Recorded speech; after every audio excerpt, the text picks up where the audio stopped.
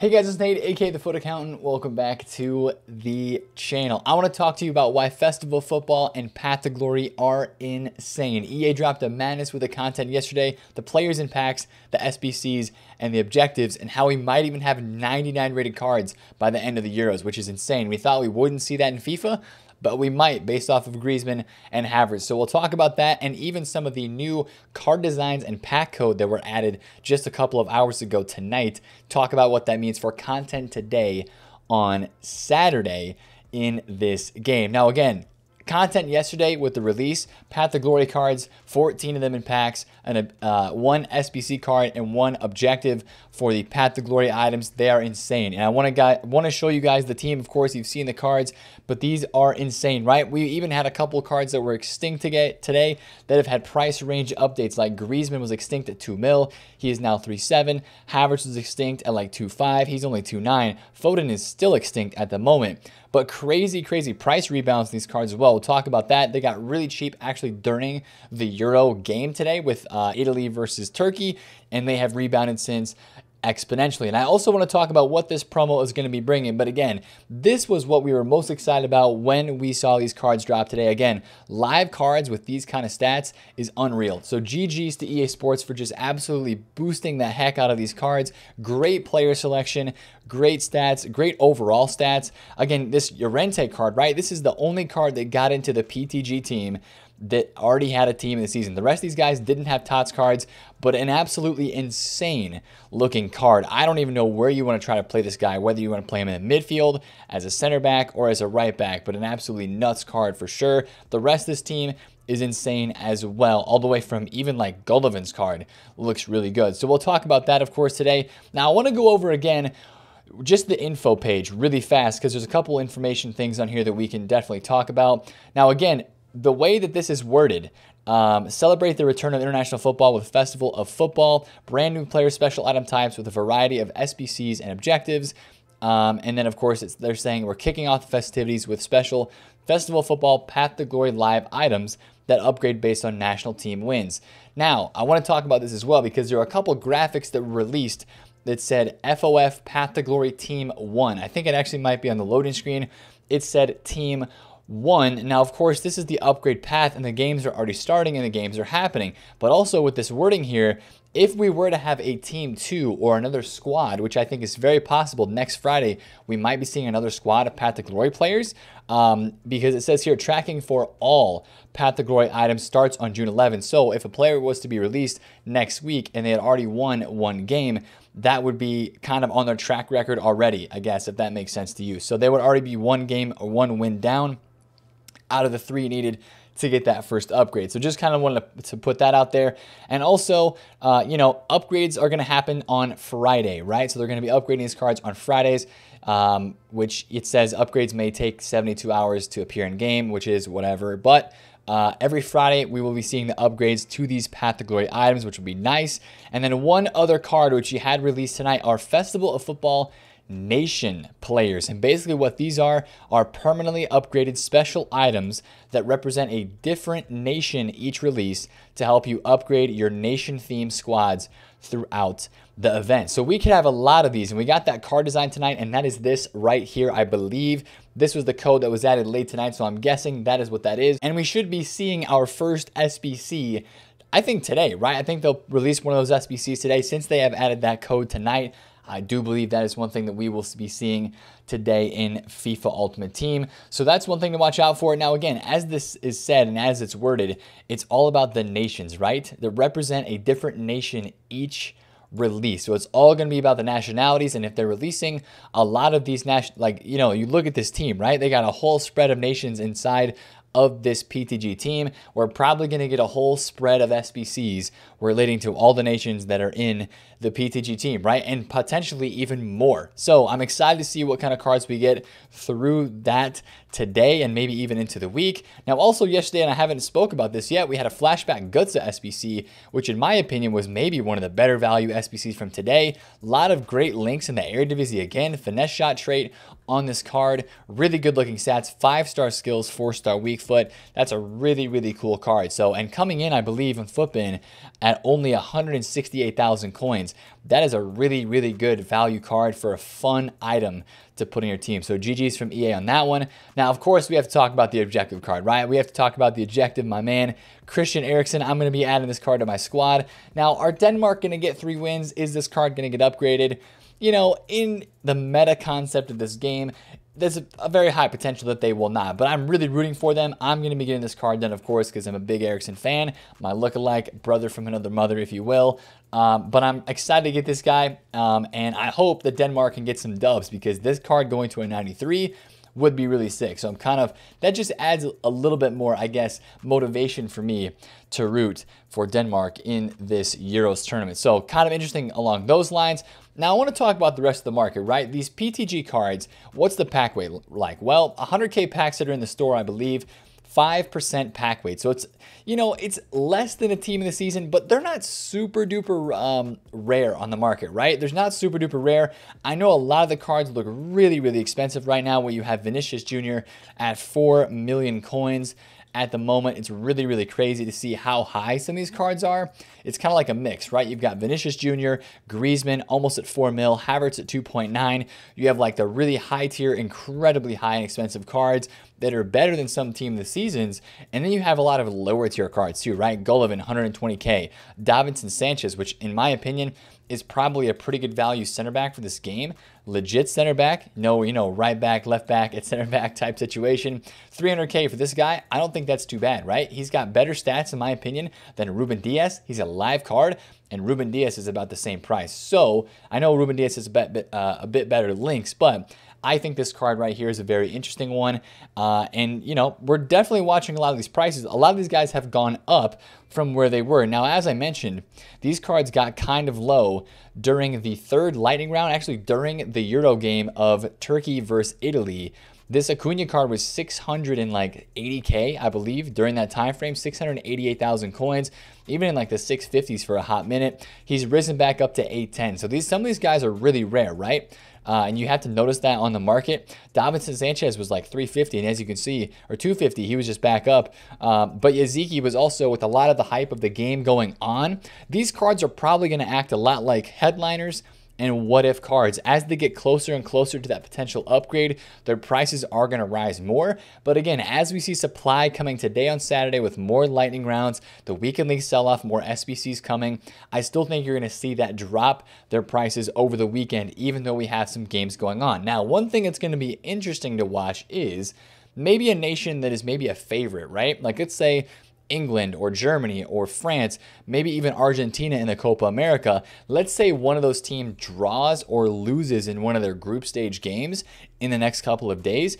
you might see one of those cards take a hit in price. But again, as we go throughout this week, that's going to potentially be an opportunity to maybe buy into one of those cards because, especially if they're making it out of the group stage, that's a huge deal because, of course, for, for a card like Eriksen, the objective, right? If Denmark do not make it out of the group stage, then his card will no longer receive any more upgrades. And if that happens for any of the cards in this team, then of course, just like for a road to the final card that is no longer live, or for a headliner card, or let's say a what if card, like what if Conte, when he was not able to get his upgrade anymore because they ran out of games, you'll see a huge drop off in price because that upgrade is no longer built in to that price point on the card. And as of right now, that's why you're seeing a lot of these prices be really, really expensive is because that potential upgrade and potential stat boost is really built into the card. And that's what's causing these guys to be really, really inflated. So that live feature is really adding to the price these cards right now on the market, which is interesting to see, but that's normal, right? It's something that we almost, you know, see pretty exclusively during this time or during live cards when they are released, especially early on when they're still really rare. So especially with this, you know, the whole Euros happening right now and it's in front of us and we're watching the games and stuff, and there's a lot of hype around that. That is something that we're seeing a lot of uh, in this game right now. So I do expect literally the entire squad to get cheaper, even though there's games going on. It's only through the first basically they'll only play one and some teams will play two games by the time these cards will go out of packs so I definitely expect them to drop off in price even today, right? I mean, you think just like team of the season cards are brand new promo cards, some of the rare guys here at the top, maybe Griezmann, you know, um, maybe guys like Havertz, Verratti, Phil Foden, who is extinct. You might see some of these guys get cheap today around the content drop on Saturday, then have a potential rebound after if there's panic selling heading into 6 p.m., depending on what the content is today, and then a potential rise. Now, the rest of the market, and this is why I want to talk about why I think the market could be dropping off this weekend, a lot of the market is really not rebounding too much, right? I bought this at 1.2 million coins, which at the time was 150,000 coin undercut on this R9. He's back up to 1.36, but he was still chilling around 1.2. Not a really big rise for this card. Um, you know, I'm still going to make a lot of money there, but even this Roberto Carlos, it just didn't seem like a lot of stuff on the market yesterday really rose up. It really did not. A lot of the meta cards, some stuff took a dip and then did rise. I sold, I sold some Chen Calais way too early. He's back up to like 220, 230K. I sold him too early, but a lot of the stuff, you know, unless it was a link to a brand new SBC player, it just kind of stayed the same or went up a little bit in price, right? So that kind of tells me that there's a lot of hype for these brand new cards and the people, the cards that people sold off yesterday. Um, you know, there wasn't a ton of buyback. Nani was sold off to like 400 and 70K. So he did bounce back a little bit, but he only bounced back to like 515K. As you can see here, he was like 540, 550 before the panic selling started on Friday morning. So that makes me think that a lot of people don't have a lot of coins in this game. The lightning rounds are not selling out. They were they were staying up at least on PlayStation for almost the whole hour. And that tells me that there's just not a ton of hype and not a ton of people on the game that want to spend money on the game. And that's not putting new coins onto the market really. So what that's going to mean is if people are going to buy the new cards, they're going to have to go sell whatever they have to afford that. And they're not opening packs to get more coins. So that makes me think that the market's going to fall off a decent amount this weekend. A lot of your TOTS cards, people might be going and selling some of those items to go try out, whether it's a new SBC player that need coins to finish the SBC, or uh, it's to buy one of the new cards on the market, or maybe they're transitioning their squad to be more of a nation themed squad kind of like what EA is going to be pushing us towards here in the next couple of days, as you can see in their wording with the the uh, Festival Football Nation players and SBCs that they're going to be releasing. So I think that might play into things as well. Now I want to talk about one thing where we can actually make a move on the market, and that is with SBC fodder because Index 84, take a look at this, right? The Index 84 dropped off a lot. Index 86 dropped off a lot. Even though we had two good SBCs with SBCs with Jota and Götze, you're seeing these fodder cards drop off a decent amount in price. 84s, I believe, are back down into the low 4K range, which if you sold these last week when they were six, 7,000 coins a piece, you're loving it, right? Because you're going to be able to make some money off these. You already made some money if you sold them. And this is, I think, another opportunity to go back in because I think these cards, uh, I think we're going to have a lot of content this week, right? With Path to Glory SBCs, more flashback SBCs. Again, we're coming off of two um, I guess, quieter weeks in terms of team of the season with content, where we were at, up here with Bundesliga and La Liga. We went back down to Ligue One and Ultimate Tots. I think they're going to pick back up the hype this week. It really seems like they are.